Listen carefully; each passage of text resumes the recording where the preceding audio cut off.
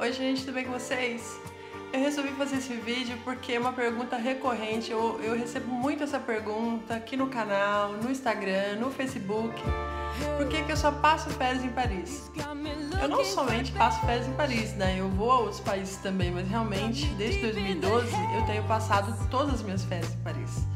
E eu vou contar a história pra vocês. Se esse vídeo ficar muito longo, eu peço desculpas mas eu vou contar desde o início por que, que eu só passo férias em Paris.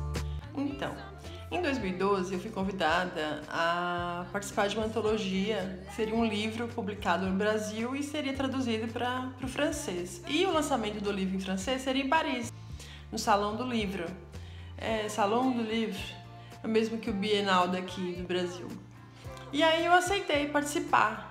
E em 2012, em março de 2012, foi a primeira vez que eu estive em Paris. E eu simplesmente me apaixonei pela cidade, porque eu fiquei pouco tempo, que eu só fui para lançar o livro, e eu fiquei poucos dias e eu não consegui ver tudo que eu queria. Então assim, falei, bom, um dia eu volto. Em 2013, no ano seguinte, eu voltei a Paris levando a minha mãe para conhecer também, de tão encantada que eu fiquei com a cidade. Conhecemos tudo lá.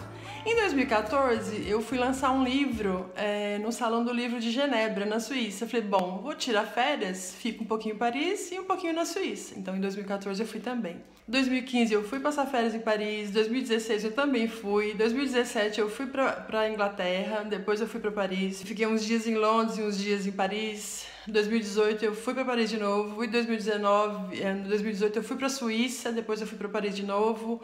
E 2019, 2020, que é esse, esse, essa série que vocês estão vendo, eu fui novamente. O que que acontece? Gente, eu sou apaixonada pela cidade. Não é segredo para ninguém. Quem me segue no Instagram vê que eu publico muita foto de Paris.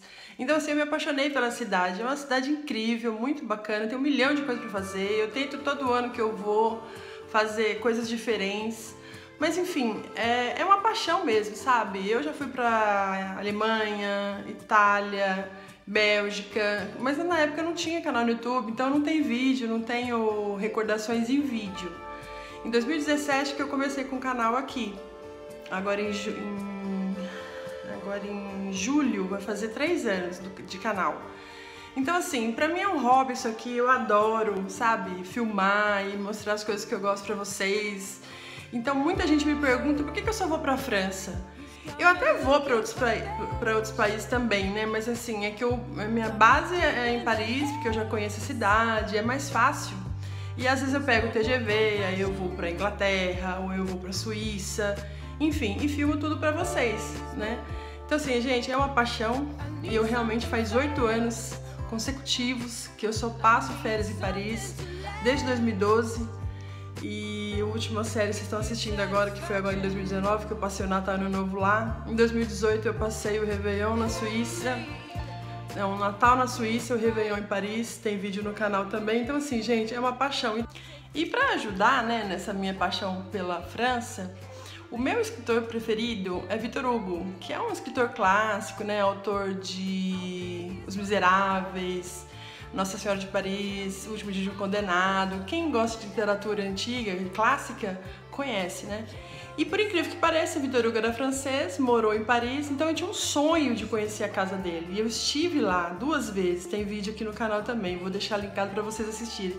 Então assim, são N motivos que eu posso falar aqui, porque que eu só passo férias em, Paris. Mas assim, é porque a cidade é apaixonante, eu amo demais, adoro a cidade. Então, assim, eu espero que vocês gostem dos vídeos.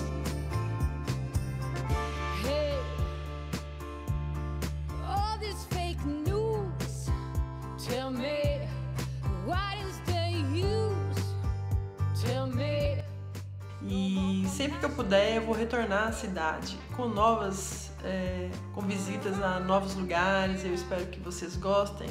Então, obrigada por você acompanhar o canal, estar comigo aí desde o início. Obrigada aos novos, novos inscritos também, né? E agora em julho a gente está comemorando três anos do canal, então eu só tenho a agradecer a todos vocês, tá bom? E se ficou alguma dúvida, deixa aí nos comentários que eu respondo.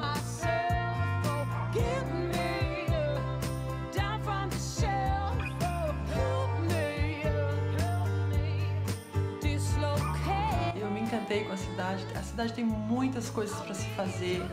Então cada ano que você volta lá, você até pode repetir passeios, né?